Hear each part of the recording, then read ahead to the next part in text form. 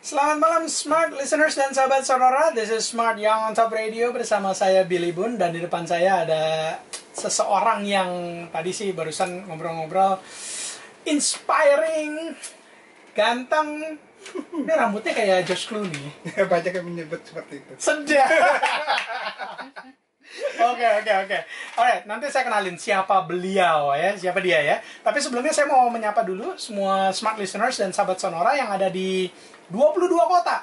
Ada di Jakarta, di Manado, Makassar, Banjarmasin, Balikpapan, Pontianak, Bali, Surabaya, Malang, Solo, Yogyakarta, Semarang, Purwokerto, Cirebon, Bandung, Lampung, Bangka, Palembang, Medan, Pekanbaru, Aceh, dan Padang banyak yang dengerin kita Iya. Ya nggak nah em, yang mau nanya-nanya ya bisa eh, lewat eh, SMS atau WhatsApp ke nomor aksis 0838 7764 7715 sekali lagi ke nomor aksis 0838 7764 7715 nanti yang beruntung bisa dapetin satu buah eh, kacamata Sike persembahan dari Optic Says ya.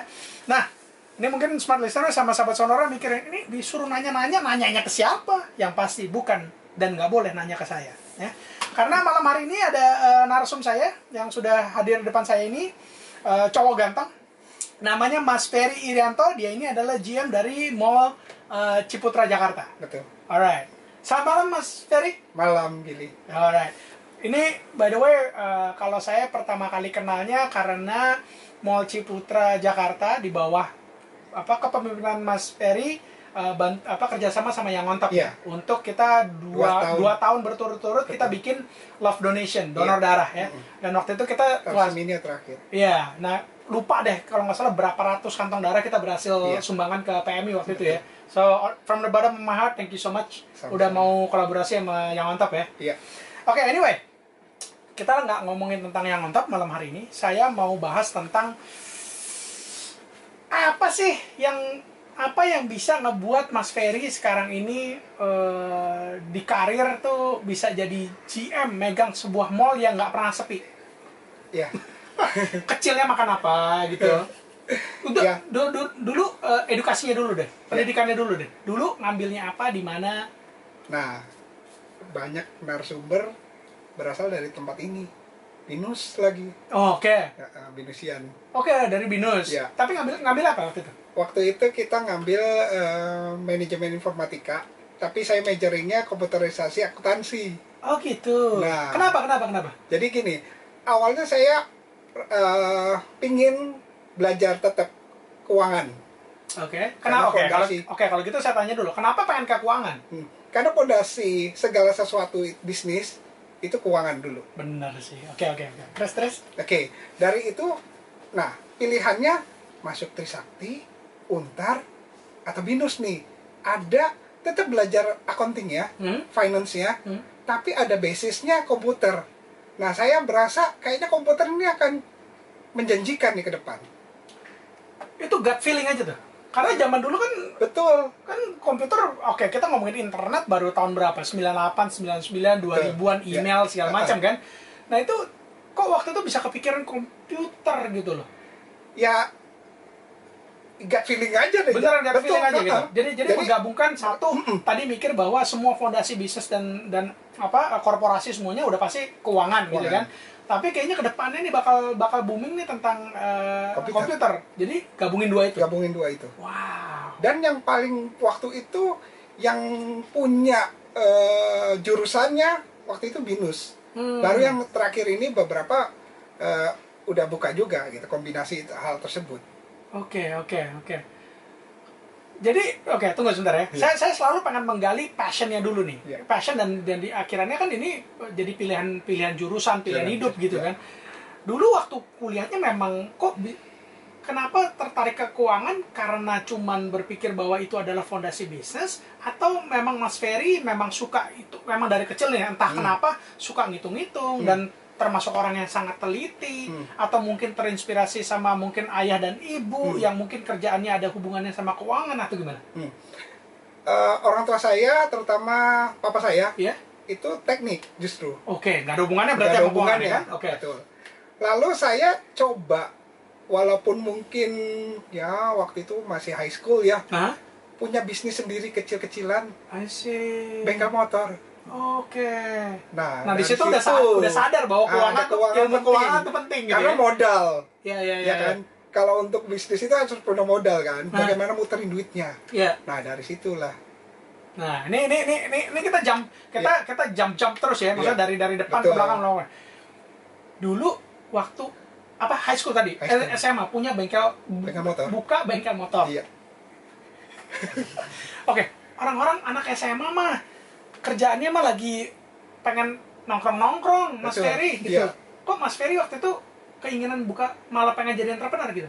Nah, eh Gak ada rasa takutnya. enggak. Sementara orang-orang kayak kayaknya bikin bikin bisnis terus gagal, Hmm. takut, Hmm. kan banyak mikirnya Betul. gitu, risetnya mungkin bisa 20 tahun baru akhirnya malah nggak mulai gitu kan. Jalani hal yang kecil dulu. Oke? Dengan itu kita bisa punya eh ya nanti punya pengalaman, Hmm. ya kan? Jadi kalau kita belajar nggak dari kecil, gimana kita punya nanti ke depan dipercaya apabila sudah besar Iya, iya. bisnis tersebut Hmm. gitu. Nah, waktu SMU juga waktu itu juga ditanya juga sama temen- temen-temen tuh, eh, lu pulang sekolah kok bukannya main-main ke Iya, kita gitu betul, kan? betul. Kok punya lanjutin ke bisnis itu? Hmm. Nah, karena di daerah saya itu Di kebetulan mana di mana waktu itu? eh, di Jelambar sih. Oke. Nah, waktu itu ada eh, punya peluang karena gini, nggak banyak yang dalam hal ini eh, punya eh, skill waktu itu di Iya. situ. Kebanyakan orang hanya menjual spare partnya aja. Oke. Nah, dari situ kan eh, perlu ya kan dan eh, karena juga ada bakat dari atau juga diajarkan orang orang tua saya. Oh, Mas Ferry sendiri bisa kutak-atik motor Bisa, sendiri, bisa, bisa bisa iya. bongkar-bongkar juga. Iya. Oh, oke. Ya, waktu itu. Ya, nah dari itulah ya cobalah lanjutkan hal tersebut. Kalau boleh tahu waktu itu masih ingat nggak modalnya berapa dan dan duit dari mana modalnya itu? eh gini, eh, orang tua punya bengkel mobil, Oke. dia punya ada sisa sedikit ruangan, Mhm. ya kan? Itu saya ngomong, boleh nggak dipakai? Nah, Oke. di situlah modal di situ.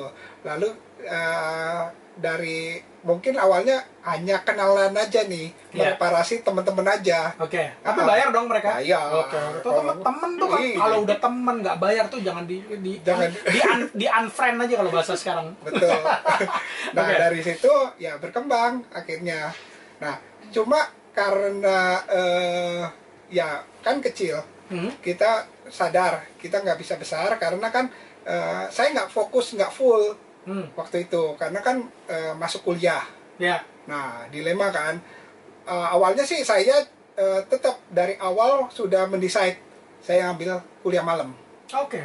jadi pagi siang bisa aktivitas lalu eh, malam eh, bisa kuliah Ya. gitu Wow.